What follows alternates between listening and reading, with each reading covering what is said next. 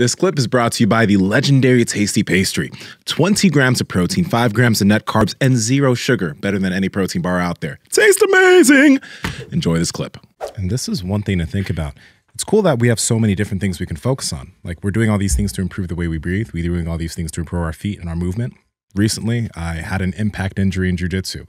I was doing something with somebody, and then my my body slammed on the ground. I heard this big crunch on my clavicle area. I heard it right? I got up. Okay. The next day or later on that day, I couldn't, I was coughing and it was hurting here in my clavicle. I noticed it was bruised. Putting my arm over my head hurt.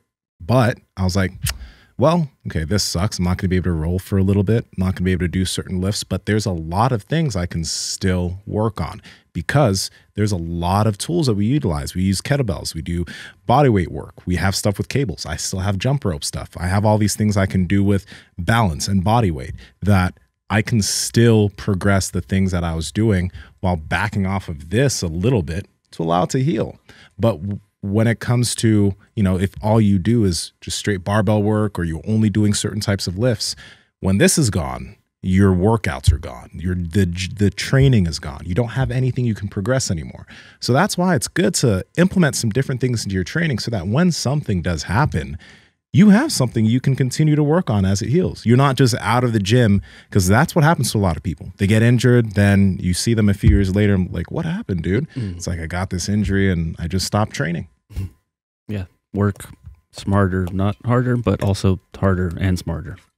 you have a you have a you have a lot of tools. Like at right. this point now, we have so many tools that we can use uh, and do in the gym that's continuing to help us to get into better shape and increase different capacities for movement and strength right we're not just stuck with certain movements that's why there's that's why we're always progressing there's certain things that you can do as well that you're not going to immediately even notice whether you're good or bad at it really mm. like like something like a med ball toss like what's your previous marker for throwing a med ball as high up in the air as you possibly can you, you, probably don't remember the last time you just tried to chuck one up in the air as, as high as you can, mm-hmm. or to throw it backwards over your head as powerfully as you can, uh, to slam it into the ground. There's there's less degrees of like measure. Like when you do a squat, if you're a 200 pound guy and you can't squat like double your body weight, then that's not very strong, right? Like we kind of we have these uh, markers when you push or pull the sled and you do it forward and backward, you don't really know. Like, I guess I could see that maybe a person has the sled loaded up with lots of plates, but even something like the tank, there's no like, okay, maybe it's on like level three and it's on a hard level.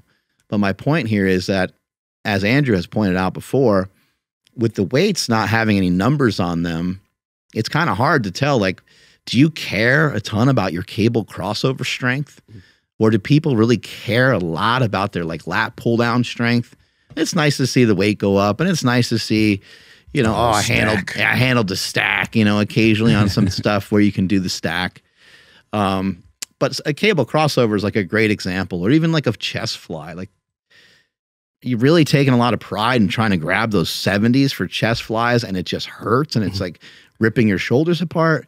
Or would you rather actually do the exercise with good form get a good stretch and maybe have the 25s or the 30s or whatever your body can handle. Yeah, because everybody clowns on like the quarter squat, right? Like, oh, I got a PR, but then, you know, people will see like you didn't go to depth and all that shit or whatever. But then with, yeah, like you're right, like with the chest fly, yeah, you're just going to end up pressing it, you know, if it's too much or you're just going to fuck your shoulder up, which I've done too many times. Yeah. Mm-hmm. Power Project family, we appreciate you checking out this clip. Check out another one. Just, just, just go check out another one or comment down below and let us know what you liked about this one. But we love you guys and we're going to keep bringing you the heat. So comment, subscribe, and all that good stuff, okay? Peace.